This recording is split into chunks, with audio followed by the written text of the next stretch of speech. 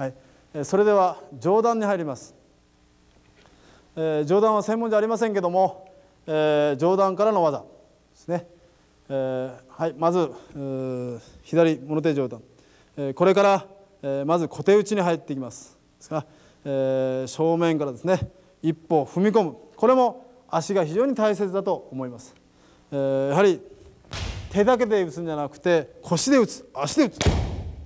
ね。えこれから踏み込んで、え打った瞬間に、えー、ガッと締める締めた後向こうにこう走らせるような感じで打てば、え体がと、え中に入ることができると思いますのでただ単にこう打ち下ろすんじゃなくてこれから体のさばきも練習された方がいいように思います。ね、これからの相手が、えー、ずっと攻める。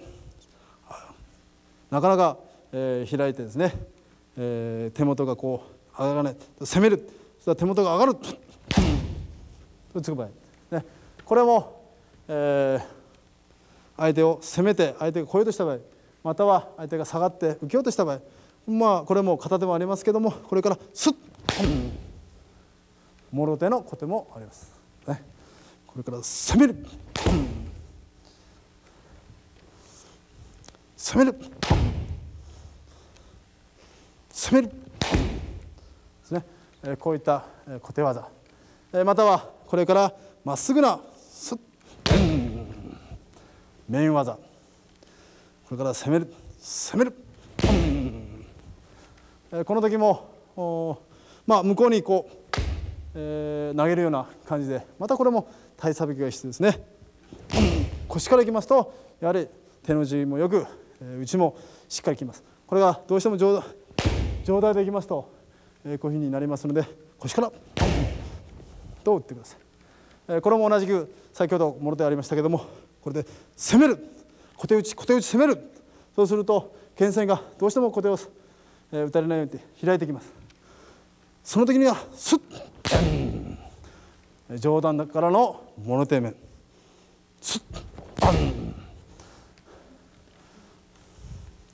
フッパン、えー、物手面があります、えー、その他に、えー、上段から攻めて、えー、手元が上がる人スッとですね上段からの、えー、スッとスッと、えー、それと同じく右側に抜けると。攻めると、えー、こういった技があります。えー、これも上段の場合、えー、出花というのがありますけども、えー、と相手が打ってこようとする。出花面相手が打ってこようと出花面相手が打ってこようとするところ出花子で相手が打ってこようとする。とはい打ってくる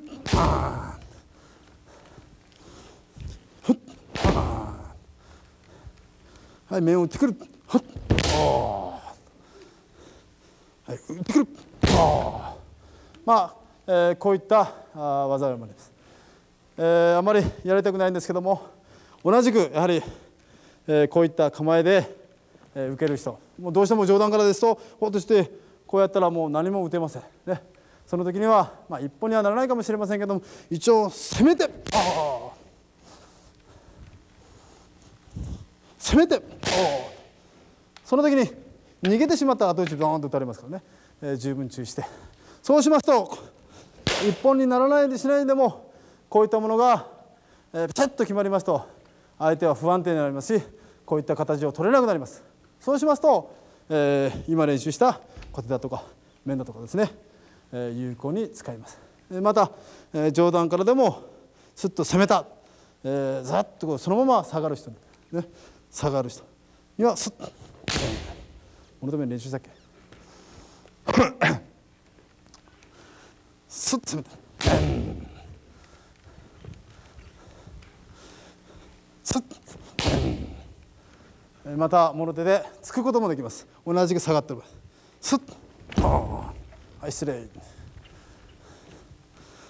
やほっぱ。